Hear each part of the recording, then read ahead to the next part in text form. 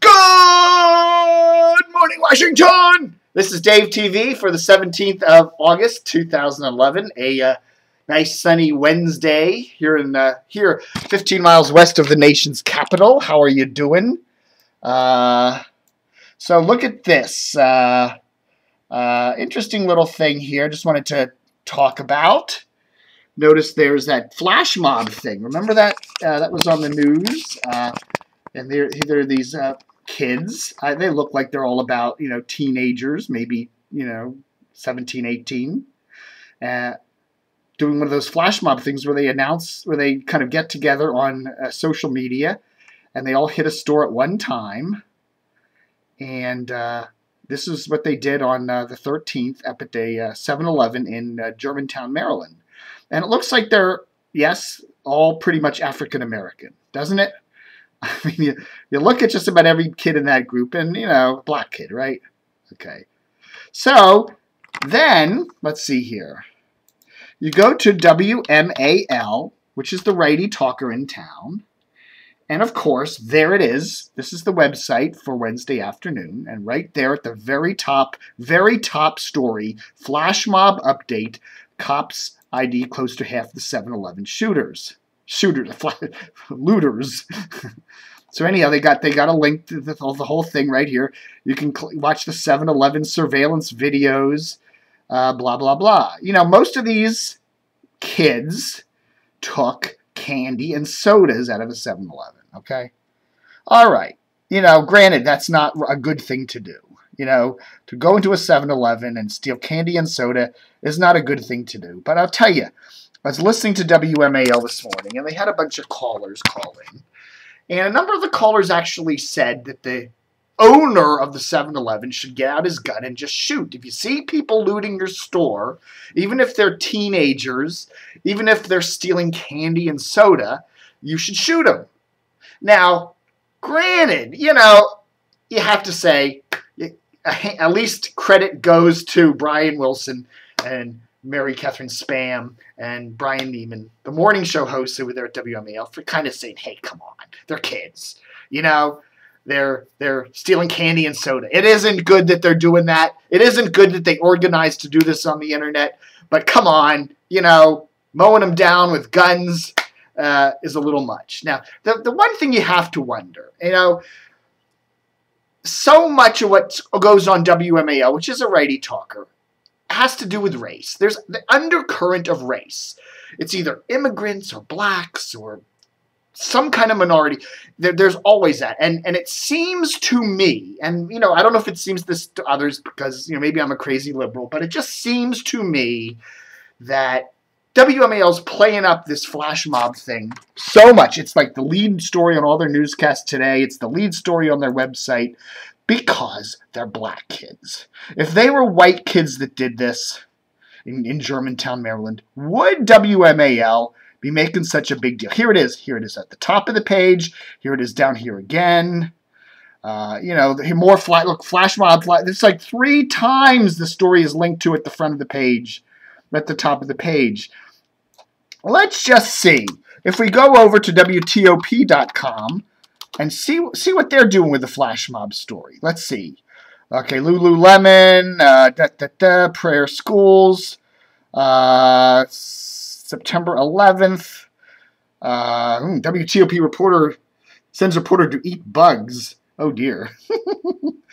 uh, you know, I'm, I'm looking at the top. I don't see it at the top of the page here. There's DC News. Uh, you know, they, they have that uh, crime reporter becomes a victim on Metro. The, that uh, crime reporter for the uh, for the Examiner, you know, gets his iPad, i iPhone or whatever the hell stolen on the Metro. So they did report that. But I'm not seeing the flash mob story here on WTOP. Hmm. Now, I'm sure it's here somewhere, but I just don't see it. Now, let's see. Would it be okay? It would be under Maryland news, right? Because it's Germantown is a Maryland uh, jurisdiction there. Da, da, da, Montgomery County. Let's look at Montgomery County. Here we are. Police identify some involved with flash mob. So yes, WTOP does report the story. They have an update of it as of today. They have a link to the thing. And uh, a very, very, very short little story here from AP. Or from, copy, no, it's that WTOP story. 30 people stolen items from a Germantown Sunday. But it's not like they're hyping it as much as WMAL is. You know? Now, I don't know. You know, we click on the link there and, you can see it again. You know. I don't know. You just, you gotta wonder, uh, is WMAL hyping this so much simply because they're mainly black kids? You know, you wonder if that, that was all a bunch of suburban white youth, would WMAL be making such a, you know, and the very fact that I have to ask that question kind of tells you about, uh, you know, what people think of W, I don't know, WMAL, it just, it just seems like so many of their, their, their, their hype stuff on that station has to do with some sort of a racial undercurrent. You know, it's like listening to black, it's listening to Rush Limbaugh calling our president, what does he call him? Um, a man child.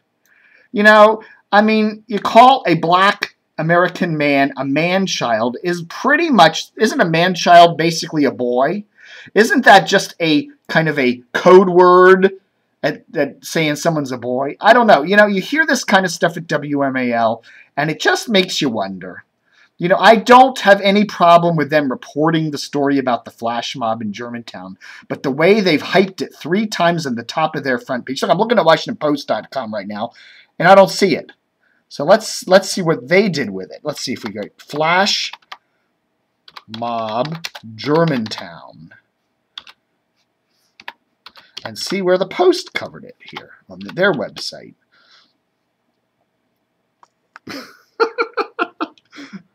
Well, I don't know.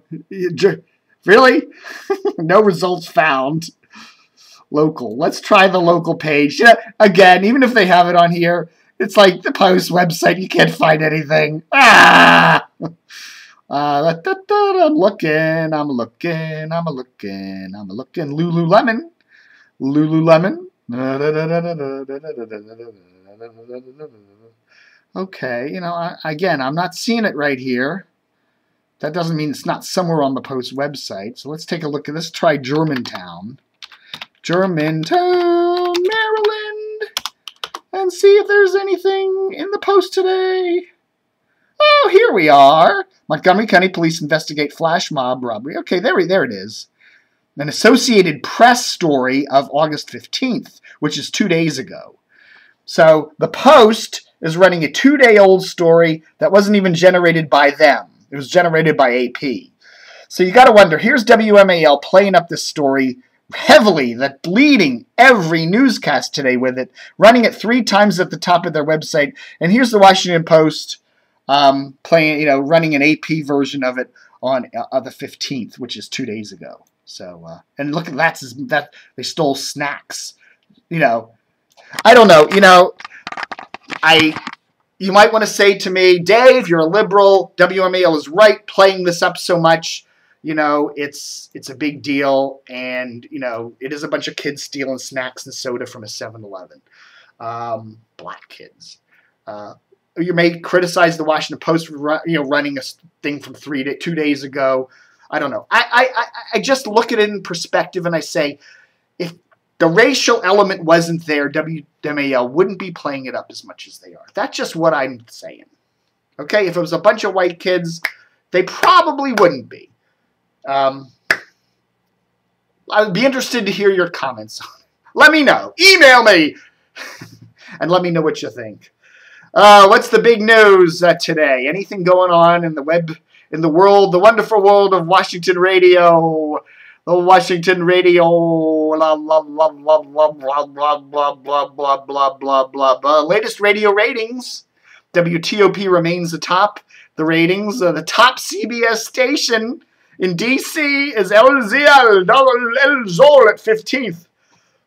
I'll tell you, Steve Swenson, you know, hey, you've got a bunch of grunky old stations here. You better get to work fixing them up. Oy vey. Uh, interesting, uh, interesting little thing. Ralph Albertazzi. He was the Air Force One pilot back in the late 60s, early 70s who flew Richard Nixon around on Air Force One. Well, this guy lived in Berkeley County, West Virginia, which out there in the Panhandle. And apparently in 1991, he started Channel 60 out there, WYVN, with a Fox, one of the early Fox network programmer, Fox network affiliation, and started a 6 and 10 p.m. newscast to compete with the Hagerstown's Channel 25. Well, the station lasted a couple years and went bankrupt, and it's now an ION outlet. But uh, Mr. Albertazzi passed away on Monday at 88 you know, it's it's it's kind of interesting to see people that you know have a dream. Maybe the dream doesn't pan out, but uh, you know, he tried, it didn't work. But hey, you know, more power to him, right? All right, folks, that's Dave TV for today, uh, the 17th of April 2011. Have a good one, and don't forget to stay tuned and cut